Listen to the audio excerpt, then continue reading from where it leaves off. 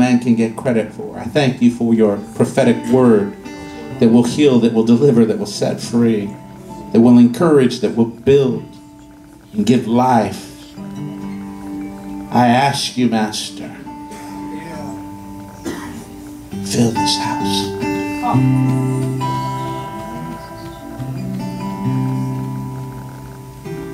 I could feel things shifting in my heart. I began to ask the Lord, what is it that you want to say about the supernatural? And He simply reminded me of the definition. It simply means to go beyond what is natural and possess it, live from it, and live in it. But many times the supernatural doesn't manifest until we find ourselves at a point of need. And the Lord took me to a familiar portion of Scripture to myself. And He said, I'm going to awaken the catalyst through a word tonight. I began to ask the Lord, what is a catalyst? He said, it's a someone or a something that brings about change by an event or through a word. It's a person who walks and talks with enthusiasm, that releases a synergy and an atmosphere, that when a corporate man comes together, they recognize the power within them is greater than the power alone that resides. And he begins to cause us to manifest a change. A catalyst is something that is added to what is existing, but it itself changes not. And the Lord took me to the book of Second Kings in the fourth chapter, and it says, And a certain woman of the wives of the sons of the prophet cried out to Elisha, saying, Your servant, my husband, is dead. And you know that the, your servant feared the Lord, and the creditor is coming to take my two sons to be slaves. So Elijah said to her, What shall I do for you? Tell me, what do you have in the house? And she said, Your maidservant has nothing in the house but this jar of oil. Then he said, Go borrow vessels from everywhere, from all your neighbors, empty vessels, and do not gather just a few. And when you have come out and come in, you shall shut the door behind you and your sons. Then pour into those vessels and set aside the full ones. So she went from him. She shut the door behind her and her sons who had brought the vessels to her. The Bible says she poured it out. Now it came to pass when the vessels were full, she said to her son, Bring me another vessel. And he said to her, There is not another vessel. So the oil ceased.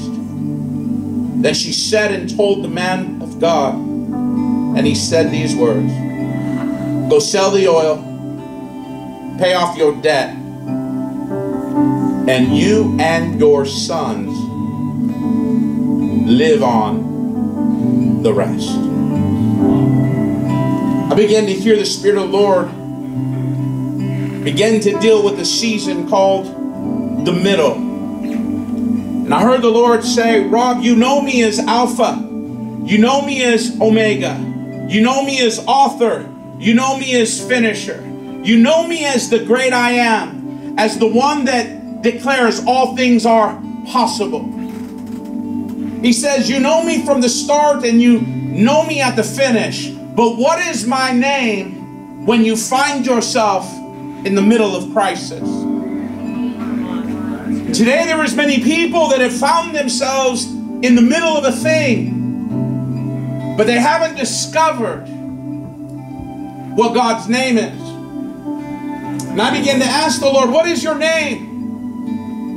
One name is Ebenezer, but that's not his name, that's a man's name.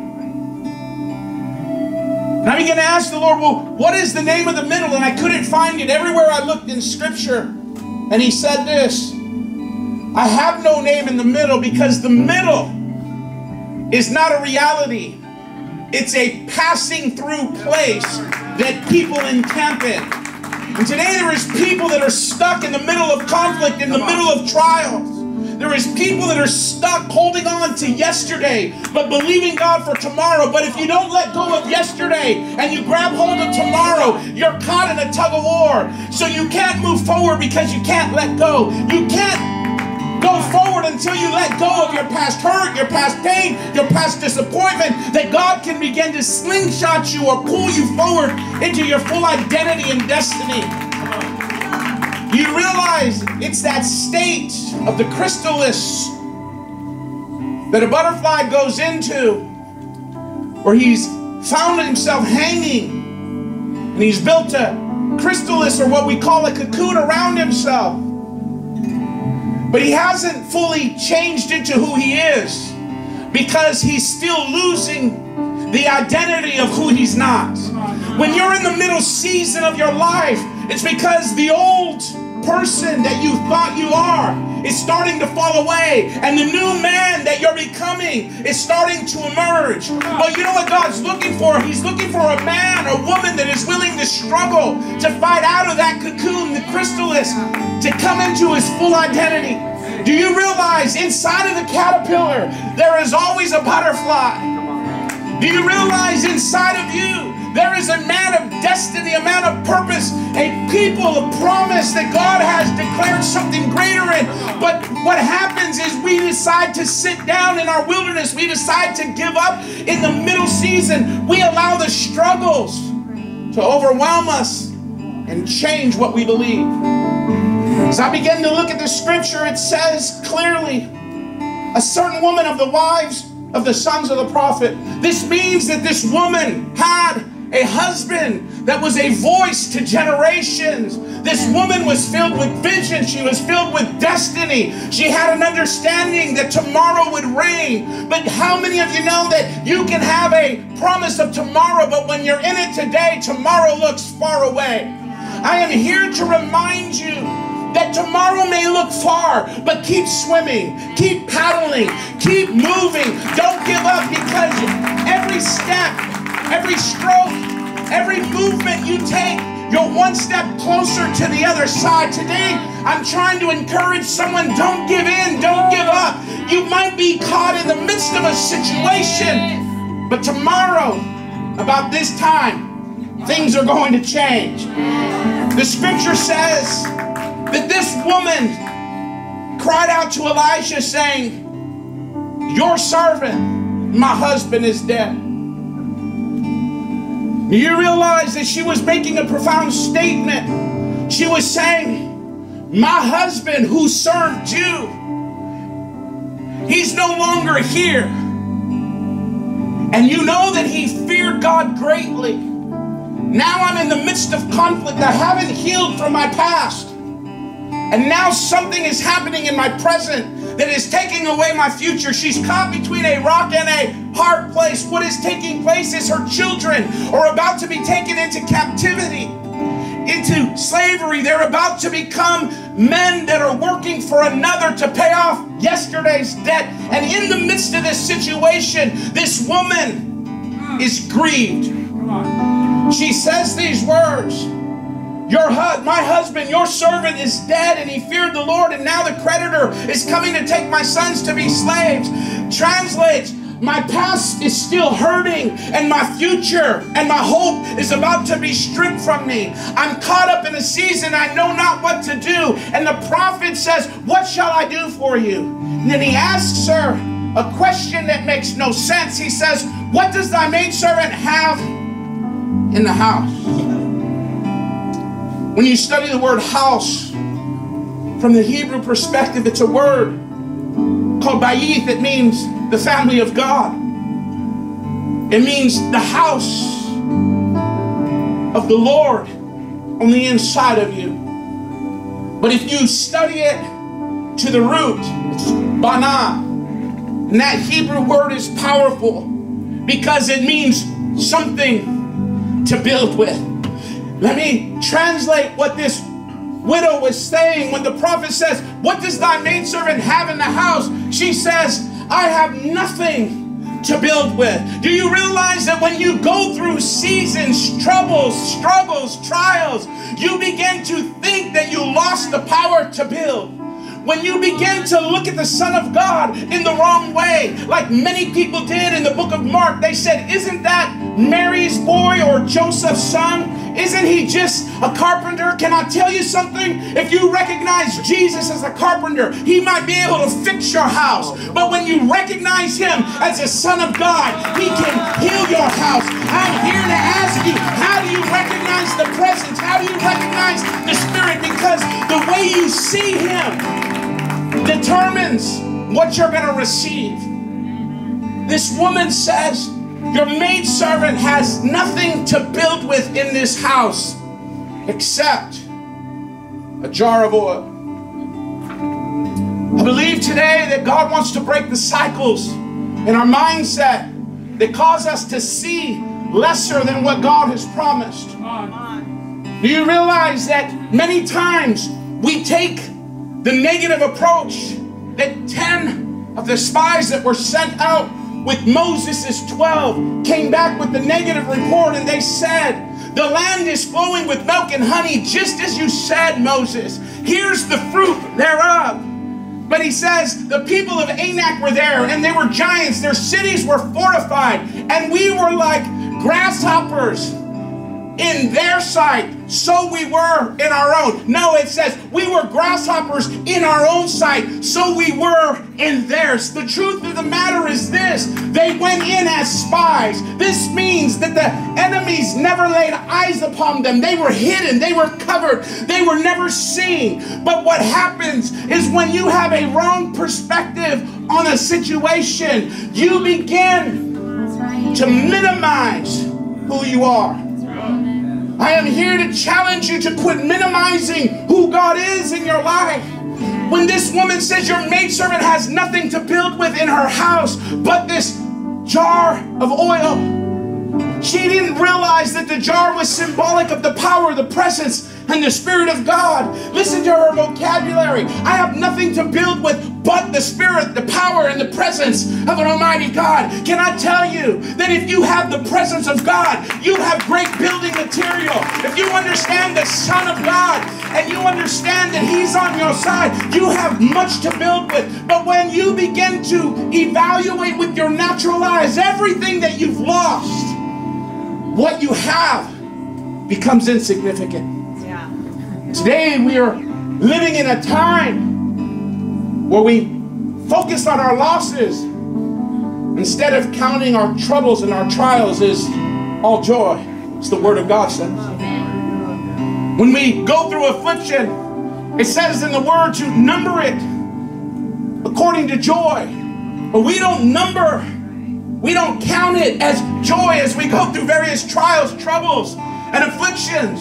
We begin to allow the affliction to become our language. We allow our circumstance to become our vocabulary. What we're going through becomes the language. And when we begin to express from a lesser, we begin to minimize the power of what we have in our hand. Can I say it like this? The language of negativity makes what you have inferior.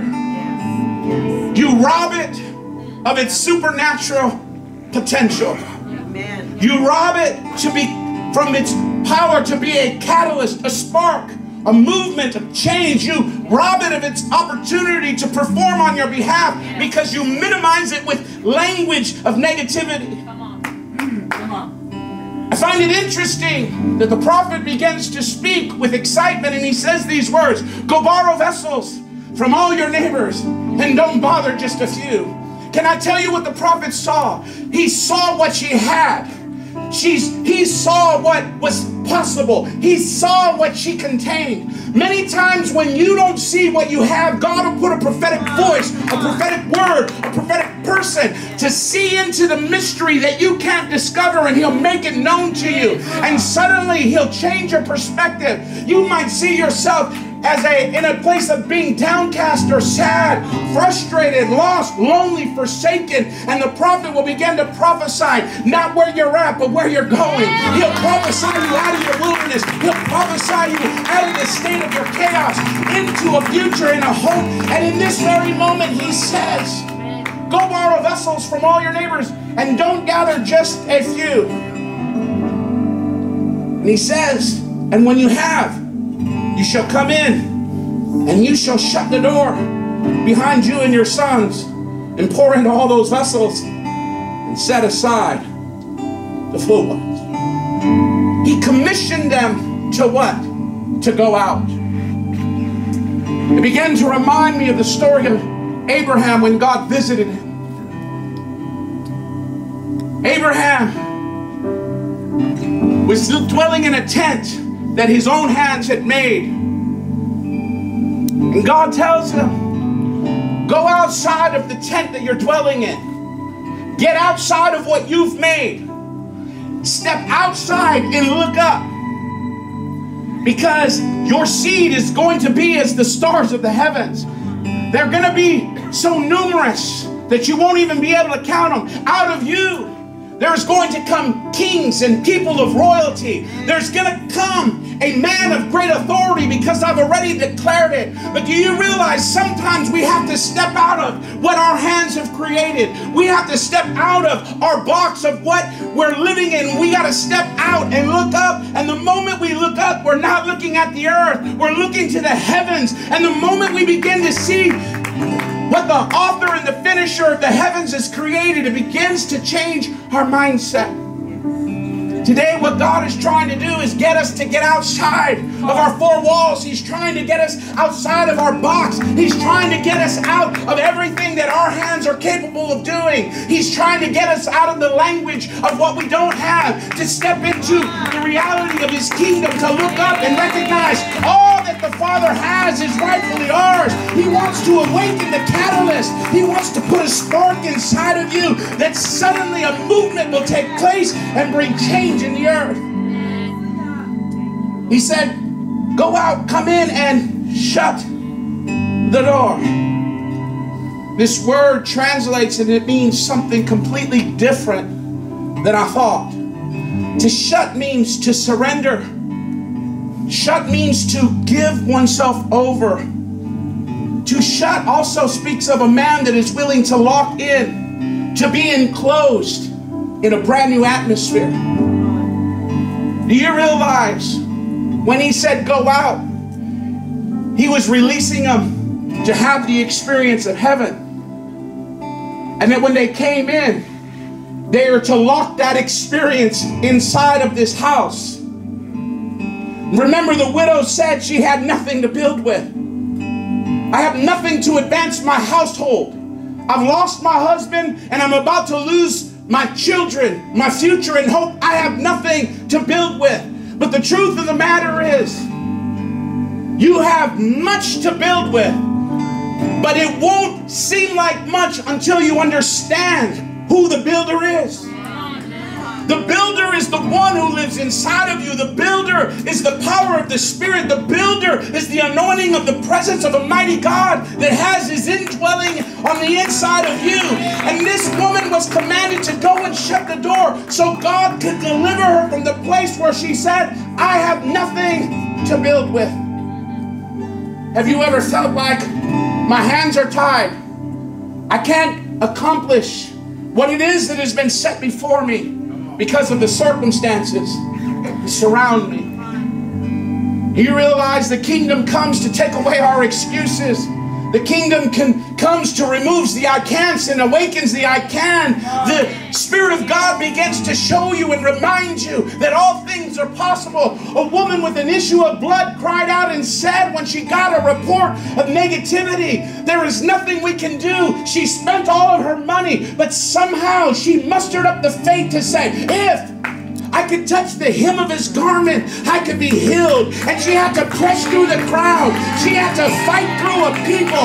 And she had to bow down. Do you realize when she came to a low place and touched him, immediately she was lifted up. She went from being bent over to being upright. She went from a, a flow of blood to being healed. She went from being pale to being filled with color. She went from being unclean to being clean. Everything changed in a moment to the place where Jesus cried out and said, Who touched me? Listen to this. The disciples said, Lord, many have touched you. You're being thronged, you're touched from every side. But he said, No. When somebody touched me, virtue left my body. The word virtue translates into dunamis, the extraordinary, dynamic power, supernatural power of God. Do you realize somebody touched me as a catalyst and it sparked a change? It caused a fire, a presence to move from within me, outside of me. Who touched me with virtue? Somebody touched me with might. Somebody touched me with expectancy. Somebody didn't allow a report to become a crutch. Somebody didn't allow their report to cause them to sit down. They didn't allow the report to make them give up. It made them press in. I'm here to tell you don't give up. Press in just a little bit more and watch God do the impossible. I love the word virtue because it translates into the God that makes all things possible. This widow, when she shut the door, God was saying to her, I want to show you what you contain. Because all along you had the power to build, but you didn't recognize it. Do you realize that the language of negativity is the language of those who do not have power? The language of negativity is those who don't know how to call on the name of the Lord and be filled with presence to transform a circumstance. He said these words When you come in, you shall shut the door behind you and your sons. Then you shall pour into those vessels and set aside the full ones. So the scripture says that she did as he said. She and her family went out. They came in, they shut the door. She took what she had said I have nothing in my house but this jar of oil. Do you realize what she had could not produce until God put a word on it? What she had could not manifest life because what when it was asked of her, what do you have in your house? She said, nothing. When you speak the language of death, it does not produce life. What it does is it hinders what contains spirit, what contains life to manifest. Do you realize that your words can stop the move of God? Your language can hold back what God is trying to do. Your mindset can keep you bound instead of setting you free. This morning, this afternoon, actually, I was minding my own business. I knocked upon Diga's door. And I was on my way to the gym. And I said, hey, you guys going to work out? And they said, we're doing it now. And I stepped into the room. My room was the way Pastor Paul likes it, ice cold. But when I walked into a room where synergy and energy was being exerted, my cool body instantly began to heat up, and I said, This room is hot. And I'll never forget what Diga said. He says, because we're at work. Do you realize when you allow the Spirit of God to move, it makes things hot. It causes things to change. My atmosphere was a little chill, but suddenly I got in there and they said these words Do you want to work out with us? I ate Pastor Ralph's barbecue, and it was good. But when I got in the midst of synergy, somebody at work, and I received an invitation, I received a word of good news, a word that challenged. Guess what it did? It caused me to jump in. Before I know it, I'm doing squats. Before I know it, we're doing planks. Before we're knowing it, we're, we're dripping sweat. And I'm like, man. And then they said these words it's time to get on the treadmill. Why? Because when you get in a room Yes. that's active, Yes. your body might feel stagnant. But when you recognize the potential that's there, mm. it activated and it drew me into their life, into their style of living, and it commanded my body to work even when I didn't think I wanted to. What are you saying, prophet? This is what I'm saying. Sometimes, if you don't like the results that are being made manifest in your house, move into another portion of the house. The other day, I was doing a recording video for a friend of mine. And I just lost it. Every time I went to start, I started laughing. Every time I went to, to record, it just didn't come out right. And I remember telling Juanita, I said, we have to move. And we literally moved five, six rows away. And then immediately, everything changed. And I was able to do it complete, start to finish, without a mistake, without a laughter, without a hiccup. Suddenly, it all came. You know what I realized? Sometimes you don't have to move far, Right. Right. just enough to experience something different. This widow had to step out of what she was in. So when she stepped back into the place where she said she had nothing, God could demonstrate to her you had something to build with all along. Let me get ready to bring this thing to a landing. The Bible says that she took this jar of oil and she said to her son, Bring me another vessel. And as she began to pour into it, it was filled, and she set it aside, and she said again, Bring me another vessel. And her son finally said, Mom, there's no more vessels to be filled. And the Bible says, the oil ceased. I began to look at the word where she poured out. You know what that word means to pour? It means to grow over and exceed. Remember this morning, for those of you that were here, Samuel was commanded to go to Jesse the Bethlehemite's house, and God said, Quit mourning over Saul, seeing that I rejected him. Go and anoint one of Jesse's sons. Fill your horn with oil. So when he looked at Eliab, then Abinadab and Shammah, he thought surely the Lord's anointed was before them because of their stature. He removes the cap, but the oil would not flow on any of Jesse's first seven sons. And the reason why is because the anointing will not flow on lesser. The anointing flows on the greater. The anointing comes upon a man that is willing to allow capacity to take place through every season that you walk through.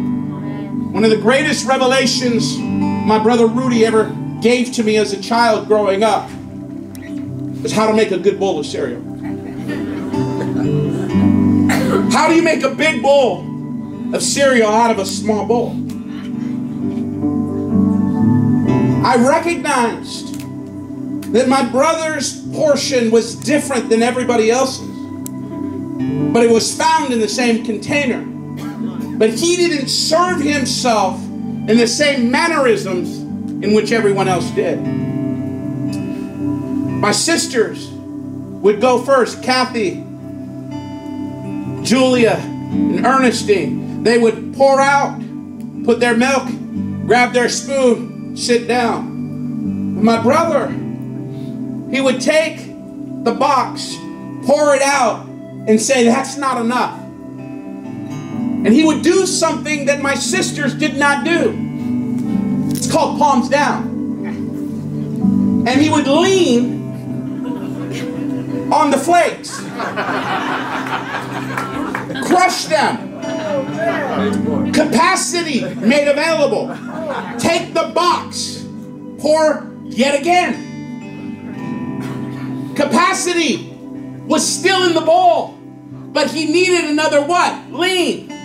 So with a little more weight and a bending of the knees, he would push down. And there was yet just a little bit more room for cereal to be added yet again. Let me say it like this.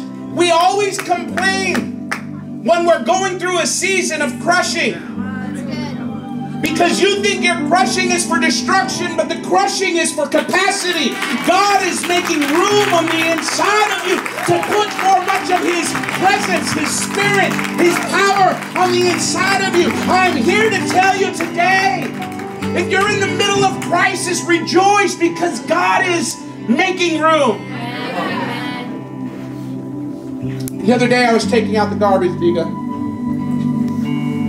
We use Glad. I'm not happy when I do it. But I was taking the trash bag out and I pulled the red cords. And you know what the Lord said to me? He says, That's what the cross did. He said, I cinched it, I tied it all up, I finished it. And I'm taking your struggles to the curb. I'm here to let somebody know that God cinched it up at the cross. What you're going through is nothing more than a false reality. It's not your destined place, though you don't see your way out. God has it cinched up, and He's taking it out to the trash. He's made capacity through the season of your hurt, your disappointment, your frustration, because He wants to pour into you. This widow was caught between a rock and a hard place, and she had no idea that capacity had been made available for her. But as long as she saw what she had as nothing, nothing to build with, she could not be a deliverer to her sons. Her sons were about to be put in bondage. Her frustration is, I have nothing to build with that would give my sons a life. At that very moment, when the oil was being released, she realized she was growing past her frustration. The Bible says that every vessel was filled. And she continued to say, Bring me another vessel. They said there was no more. The oil ceased. It was put down. You know what she did? She took what she experienced back to the prophet. She said, Every vessel in my house was full. And the prophet gave her one last instruction. You know what he said? He said these words Go pay off your debt. Pay off everything that you owe. Sell it. And you and your sons live on the rest. Can I tell you what the word rest means? The portion that you did not know that God had made available just for you. I didn't realize that my brother was discipling me when I watched him leave. I didn't know that God had more for me.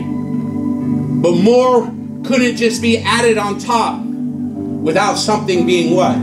Squished a little. Can I say it like this? You're squishing is for His glory. Because you know what comes out of your squashing? Oil. Jesus was in the Garden of Gethsemane, the place of the crushing. That's where he began to sweat blood drops in the garden. He was being crushed so his life could be poured out on Calvary, so he could become a sweet deliverer for you and I. Do you realize today that God wants you to live not just on rest or in rest, but with the rest? The word rest translates and it means to jut over, to excel, to exceed, to cause one to abound. It means to leave a residue. And it means that God is El Shaddai. He's more than enough, more than enough. He is the true rest that you're craving. I believe tonight some of you have been craving rest. The portion that you did not know that God has for you to excel, to exceed, to abound, to overflow in. But He could not work because you understood by perception I have nothing in my house to build with. You know what this widow had all along? She had the power, she had the presence, she had the spirit. She had a husband that feared God, that ascended to his highest calling. I conclude with this. The reason there was nothing in her house wasn't because the man of God was a bad steward. It was because he was a tremendous giver. The Bible shows us in 1 Kings chapter 18 who her husband was by language. Theologians and scholars believe that her husband was Obadiah. Obadiah, his name means servant of God. You want to know what Obadiah did? The prophet, when Jezebel was slaughtering the prophets of the Lord, Obadiah was a servant in Ahab's house.